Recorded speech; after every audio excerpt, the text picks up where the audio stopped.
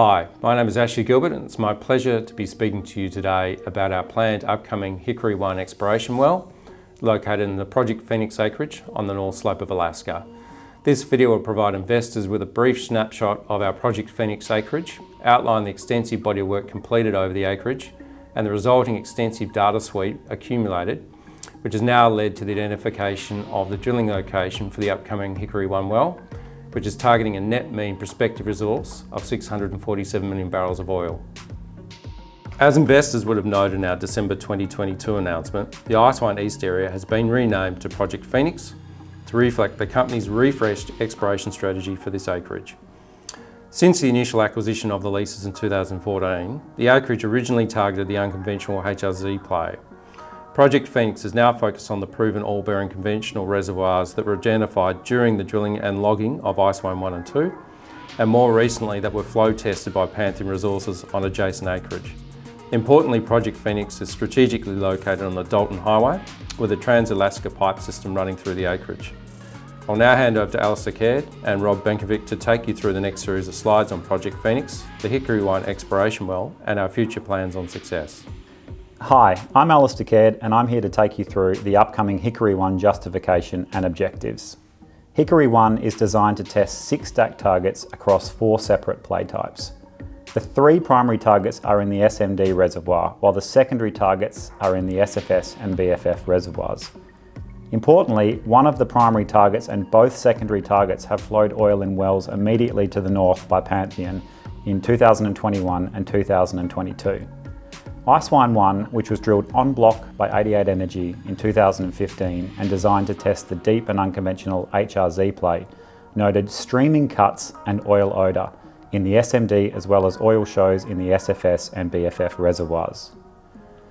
In early 2022, 88 Energy acquired the modern Franklin Bluffs 3D seismic, which both served to validate the 2D mapping of Project Phoenix, as well as perform amplitude versus offset analysis or AVO. Here we can see the AVO fluid factor results of the SMD reservoirs across the Phoenix acreage, which extend north into the neighbouring acreage position. You'll notice the distinct trend in warmer colours, which represent either an increase in pore volume and or hydrocarbon-filled pore space. You'll also note that the 2021 Talitha A well was drilled on the fringes of the anomaly and that the recently permitted Talitha B well represents a move toward our proposed Hickory 1 well and toward the long axis of the main AVO body. Hickory 1 is set to spud in Q1 of 2023 and will be split into two phases. The first being the drilling and logging of the borehole, while the second phase will focus on the production tests of any identified hydrocarbon bearing formations. Splitting the program into two phases maximises our ability to design and optimise the Hickory 1 flow test. I'll now pass you on to Rob who will take you through the Phoenix development plan. Thanks, Alistair. One of the biggest advantages the Phoenix acreage has over many other parts of Alaska is its proximity to significant infrastructure. The Trans-Alaska Pipeline passes right through the middle of the acreage from north to south. Additionally, the Dalton Highway runs adjacent to TAPS and provides easy access to the main town servicing the North Slope, which is Deadhorse. This infrastructure provides many benefits, which ultimately significantly reduces costs and time to first oil. If Hickory 1 is successful, we plan to expedite the drilling of a pilot development well, which is likely to be a long horizontal well with multi-stage fracs which will maximise oil rates.